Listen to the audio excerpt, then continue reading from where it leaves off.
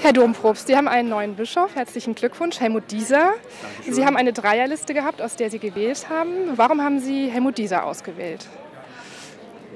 Wir hatten den Eindruck, äh, dass er äh, zu unserem Bistum gut passt. Ähm, einmal, weil er stark in den synodalen Prozess des Bistums Trier eingebunden ist und wir hier im Bistum ja auch sehr starke synodale Elemente haben. Zum Zweiten ist er zuständig für den Teil Trier als Regionalbischof und für die Südeifel und wir haben ja hier angrenzend die Nordeifel und die Kleinteiligkeit im Bistum, aber gleichzeitig auch drei Großstädte, ähnlich wie das Bistum Trier mit Koblenz, mit Trier und mit Saarbrücken. Von daher gesehen, glaube ich, stimmen die Strukturen sehr gut überein.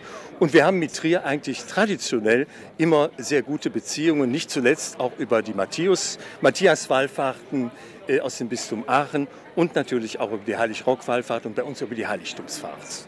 Was zeichnet denn ähm, das Wirken von Helmut Dieser in der Kirche bisher aus? Er ist Pfarrer gewesen. Ich finde das ganz wichtig, diese ähm, Verbundenheit mit der Gemeinde. Und ich verhehle nicht, dass ich Kontakte nach Adenauer schon längst vorher hatte. Und äh, als er dort Pastor gewesen ist und die Menschen sehr positiv von ihm gesprochen haben. Und das hat mich bewegt, äh, auch diese Information in die Entscheidung mit hineinzunehmen und es auch ins Kapitel hineinzutragen.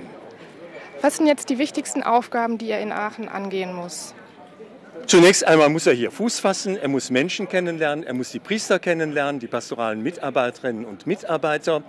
Äh, da habe ich aber keine Sorge. Er ist, glaube ich, ein sehr kontaktfreudiger Mensch und wird gerne darauf zugehen. Er muss sich auch die Zeit lassen, das Bistum in seinen Strukturen kennenzulernen äh, und kann hier sicherlich uns auch noch mal gute Ratschläge aus seiner Erfahrung im Bistum Trier mitbringen. Jetzt haben Sie ja gesagt, es gab schon eine persönliche Begegnung mit ihm. Was haben Sie für einen Eindruck von dem neuen Bischof? Es war zunächst mal sehr menschlich. Äh, er hatte uns äh, zu einem Frühstück eingeladen. Das hatte er vorbereitet. Wir waren schon sehr früh hier in Aachen aufgebrochen, Herr Dr. Frick und ich. Äh, und von daher gesehen war die Atmosphäre sofort sehr menschlich, auch sehr persönlich. Und wir waren direkt mitten im Gespräch. Und wenn Sie ihm jetzt ganz persönlich noch was mit auf den Weg geben wollten, was wäre das?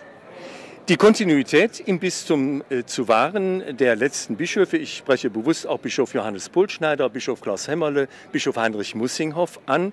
Ich bin auch überzeugt, dass diese Linie in gutem Sinne weitergeht, mit ganz eigenen Akzenten, gerade auch äh, in Bezug auf die Ökumene. Vielen Dank für das Interview. Bitte schön.